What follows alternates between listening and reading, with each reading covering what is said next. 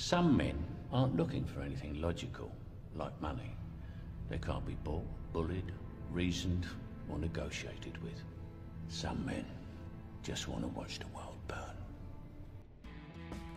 Hi, it's Zabo975 and welcome to Elite Dangerous on Xbox. Today I'm bringing you some footage, including combat clips from Gowron's Glory, um, myself, Dark Owl, Scrub Killer, as um, I regale you of the tale of the Salt War. So basically, Selfish One has decided that he doesn't like the Imperial Dragon Knights. Uh, they are ex-IED. He's always had a beef with IED because they made him kill on sight because he shot the Amberger in a lawless system. Kind of odd being made a kill on sight criminal for short, shooting someone in a lawless situation. But that's how he ended up being KOS, and since being KOS for ID, he's not really liked IED, and he's not really like the Imperial Dragon Knights because he feels they're kind of IED lapdogs, as a lot of people in the community do. So he's kind of declared a personal vendetta against them. Uh, Gowron's Glory's been down here because war is very good for glory. Um, and as you can see from this clips, he was getting a lot of glory. I came down for one evening. Uh, we basically pirated the CG, and after the CG finished, we popped down here and had some fun because uh, there's a lot of people down here. Um, we got embroiled in some fighting. We were 6v4. We had six people, we had four uh, for a period, and we did some fighting down here had some fun, um, had some interesting times. I did a usual tactic of mine when outnumbered, and uh, we'll get to that in a minute. But the basic crux of it is Selfish One has a beef with the Imperial Dragon Knights and is attacking them. One lone player. I repeat, one lone player. The Imperial Dragon Knights have called upon the assistance of the Ninth Legion and uh, IED to defend their systems because, you know, their they couldn't cope with one player attacking them. Uh, in terms of PvP, God knows how it turned into a PvP situation. Um, Selfish One's been spreading some credits around and hiring in some mercenaries and persuading uh, TOC to cause problems down here. And I think that attracted other people. Um, by the time I came down, it was pretty much a war zone. But Selfish Ones assures me this is just purely for Salt.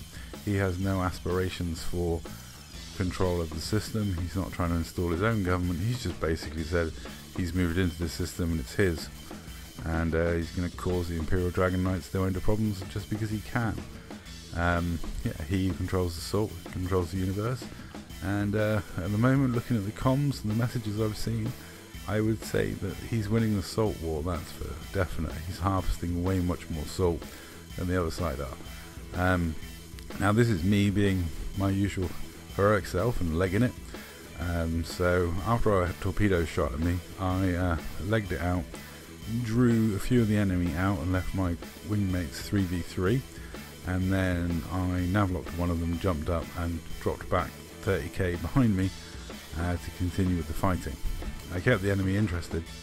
By basically juggling pips and slowing down occasionally.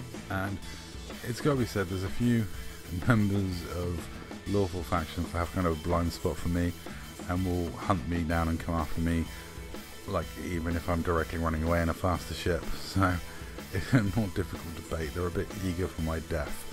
Uh, and basically we were outnumbered 6 to 4 so drawing some of them away and then dropping down back down meant we got a uh, 4v3 advantage for a period so that was quite nice we managed to secure a couple of kills and uh, well, my colleagues did. I I basically assisted and put out some damage because I'm in the Tiggly um, phasing ship, which is great at tiggling and phasing, but it's not really that good at securing kills myself. But you know, I tiggled away some damage and uh, watched as you know this guy got absolutely taken out. Oh, is that the leader of the Imperial Dragon Knights? It is. Um, so yeah, the Salt War um, will probably go on a while. Is Gowron's Glory getting another kill? And um, I don't think the Imperial Dragon Knights have realised what sort of person they're up against. Um, I do not think the Selfish One's going to worry that he's going to lose round after round of election after election after election. I think more the saltiness is what he's going for. And, you know, watching these guys as they struggle to um, keep having to win the same election over and over again might just, you know, just about uh, keep him happy and keep him fed in his salt levels. Uh, there was already some salt. Uh, the night before this, we'd popped down and had a couple of fights with Libby Jambo, and um, Al had a little run-in with him, which I'll bring you as the last clip of this video. And um, yeah, he complained that night. Well, he had crimes on that night, and he said it was fine to run crimes. Then he sent me a message saying, you know, people were running crimes, and I was like, you know what? For once, it's not me. Because um, I honestly, I didn't know, but I did look and mine were off. I wasn't 100% sure because I never am because I'm terrible at crimes. But, you know, I thought it was interesting, and I obviously commented that when Selfish installs a different government, can he run crimes in the system without you complaining? I don't know.